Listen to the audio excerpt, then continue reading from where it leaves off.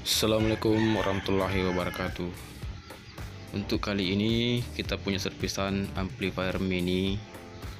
Beda kayak kemarin ini tipe RD800 Raiden juga. RD800 Cuma kerusakannya ini beda. Sini colokan US port port USB hilang atau copot di bagian depan. Di sini sudah hilang. Karena terlalu keras didorongnya. Sini saya sudah bongkar.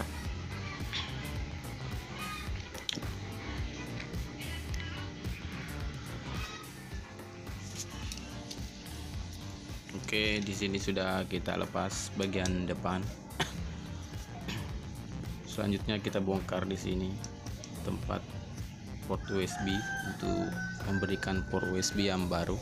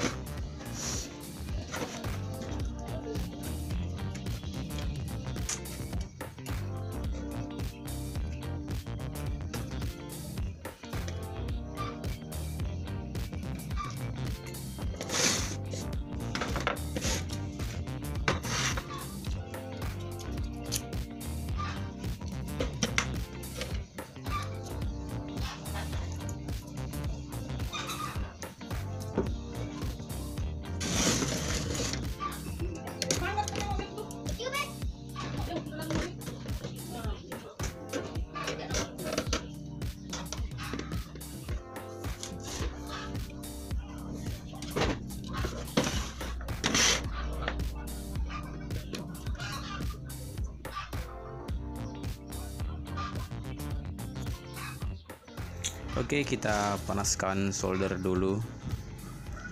Untuk membuat stand solder seperti ini bisa lihat video saya yang sebelumnya. Klik aja tulisannya muncul di atas di pojok atas yaitu. Ya setelah menunggu beberapa saat kita lanjut kerja. Kita hilangkan dulu bekas-bekas timah yang masih menempel biar pemasangan portnya biar lebih rapi. Jadi bekas timah yang sebelumnya kita lepas dulu semua. Kita tambah timah dulu untuk mempermudah melepas bekas timah yang sebelumnya yang sudah kering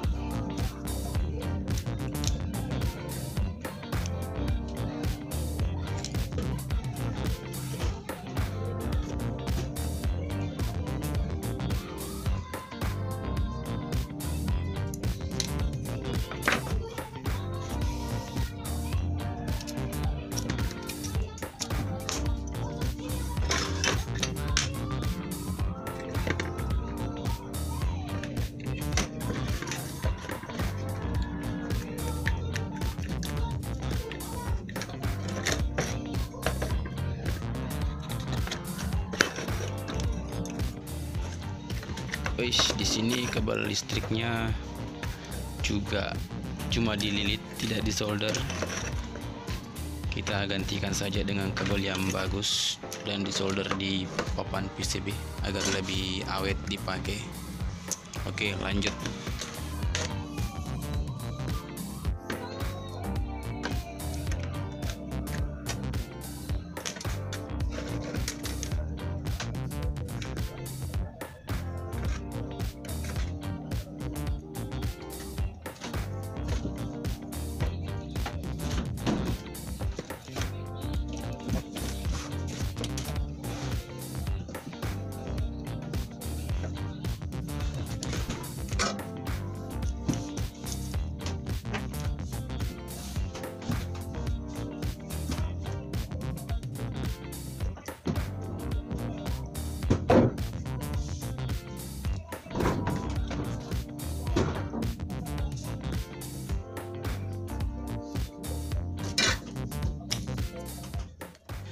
Oke, setelah diganti kabelnya kita lanjut lanjut pasang kita lanjut pasang di boxnya.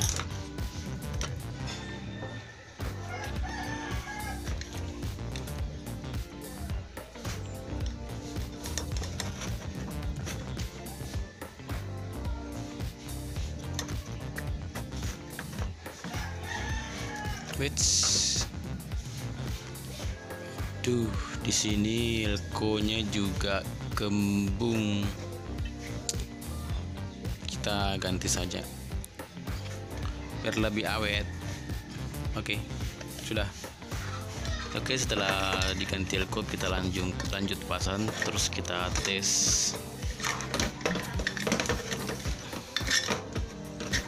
Jadi por USB sudah diganti, kabel diganti, elko juga diganti. Mungkin sudah tidak ada lagi yang rusak.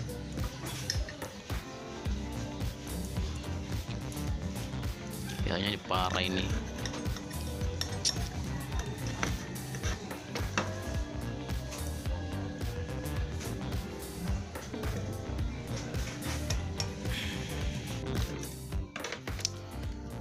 Lanjut kita tes pakai speaker. Speaker speaker ya ini dia speaker.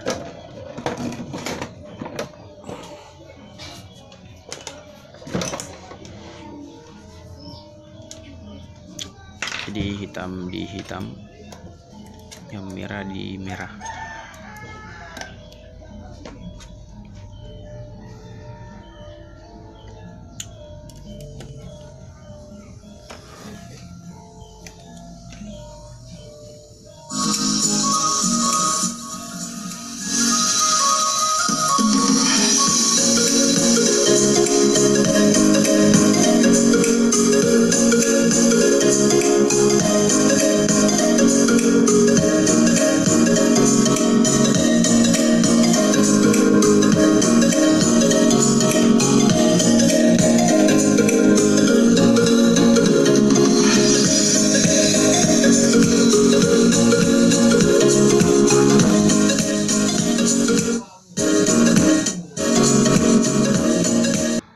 Oke berhasil. Itulah tadi cara service amplifier mini yang banyak rusaknya.